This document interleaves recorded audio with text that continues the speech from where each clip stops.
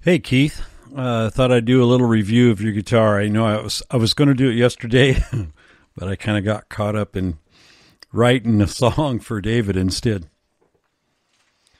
So, I first I got to tell you, I I wasn't going to let this one go. This is an awesome guitar, and uh, so kudos, man. You got a great you got a great axe here. Let's talk about a little bit.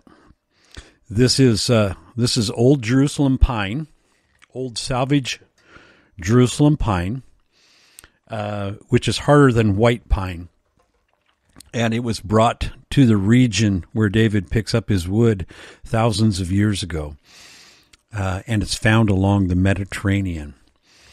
It's their it's their version of of beetle kill. So you've got these beautiful little brown markings and some of the colorations. The the neck is Mediterranean cypress, um, and you got the wild Israeli rosewood for the fingerboard. And uh, uh, something that he's doing that's really cool is he's putting this this pine veneer also on the headstock. It's beautiful. All the hardware is bell cast. Of course, David is creating all of the all of the hardware in his shop, as uh, he's a master jeweler. The uh, let me see. So one of the one of the cool things about the saddles down here, the little bell or the little barrel, uh, are are also cast and they're compensated his own design, and those are really cool. You're, you're not going to find that on any other. And of course, you got the lipstick pickups uh, created by Doug Tulloch, Dano expert Doug Tulloch. And uh, let's see here. Uh, go through the picture. You got four positions. You got you got the uh, the, the neck, of course, and then in position two, you've got the bridge and the neck in parallel. So both of them are transferring to the pickup, and it softens the tone a bit. Position three, you got the bridge and the neck in series. So the bridge goes through the neck, a slight increase in output, and then, of course, position four, you got the quack. Yeah, which is really cool. Um, so the uh,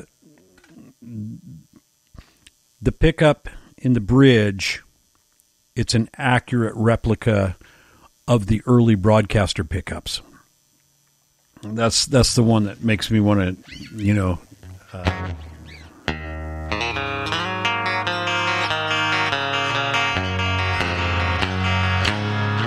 that kind of a thing. uh, I don't know.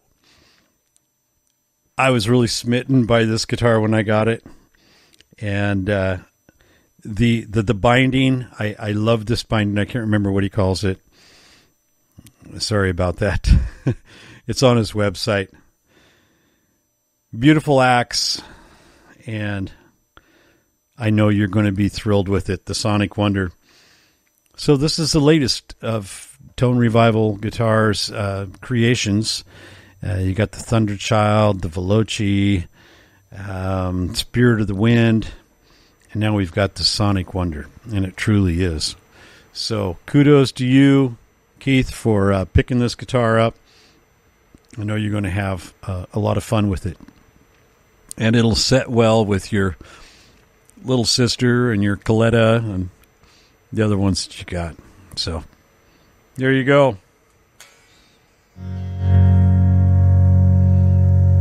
Sonic Wonder by Tone Revival.